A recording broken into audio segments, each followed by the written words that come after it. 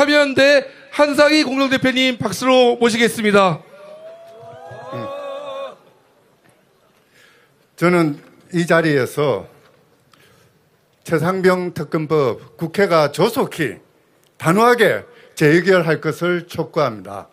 최상병 특검법에 대해서 대통령이 거부권을 행사하는 것은 그 자체 국민을 배신하는 행위고 헌정 질서를 부정하는 행위입니다. 어떻게 보면은 자유와 법치와 정의를 내세우는 우리 대한민국의 정치국가 정체성 자체를 부정하는 행위입니다. 사실 우리 그 작금에 와서 우리 대한민국은 민주공화국이라는 국가 정체성 자체가 위협받고 있습니다. 국가가 국민의 것이 아니라 대통령 한 사람의 것으로 탈취될 수 있는 위기에 처해 있습니다. 그래서 지금 이 순간 국회가 나서야 됩니다. 국회가 대통령의 국민 기만, 헌법 유린, 법치 왜곡의 작태를 교정해 나가야 됩니다. 최상명 특검법은 한 영령의 회원을 위한 법에 그치지 않습니다. 그것은 우리 사회의 법치를 바로잡는 그런 법이고 더 나아가서 법과 정의가 우리 사회를 지배하는 주된 골격임을 선언하는 행위입니다. 며칠 전 우리는 광주 민주항쟁을 기념하였습니다.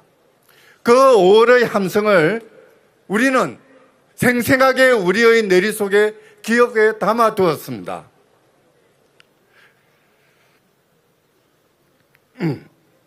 죄송합니다. 그 5월의 함성은 우리는 잊지 않습니다. 불의에 저항했던 그 목소리들, 앞서서 나가니 산자여가 뒤따르라는 그래서 우리는 뒤따르겠노라고 맹세하였습니다. 이제 그 맹세를 지킬 때입니다.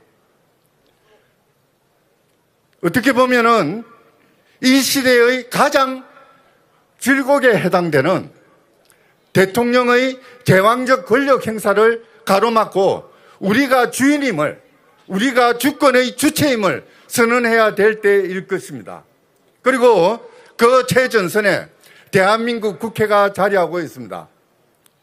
국회는 보수 진보를 따지고 여야를 따지면서 자고우면할 때가 아닙니다. 이미 우리 국민은 최상병 특검법이 시대의 대세이며 국민의 요구이며 주권자의 명령임을 선언하였습니다. 국회는 더 이상 주저할 때가 아닙니다. 바로 신속하게 보다 더 단호한 모습으로 세상명 특검법을 만들어내 주십시오. 우리는 그에 따라서 같이 행동할 것입니다. 저항을 조직하고 지금 이 팻말에 나와 있듯이 입법 청원을 조직할 것입니다.